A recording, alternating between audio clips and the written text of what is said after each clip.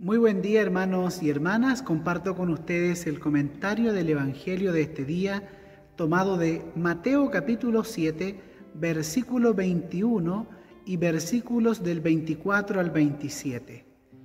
El texto del Evangelio de hoy nos habla en primer lugar que no son los que dicen Señor, Señor los que entrarán en el reino de los cielos. Nos dice que son aquellos que realmente hacen la voluntad del Padre por otro lado, Jesús hoy día también nos motiva a que debemos escuchar la palabra de Dios y ponerla en práctica. De esa manera nos pareceremos a ese hombre sensato que construye sobre roca, construye sobre buenos cimientos.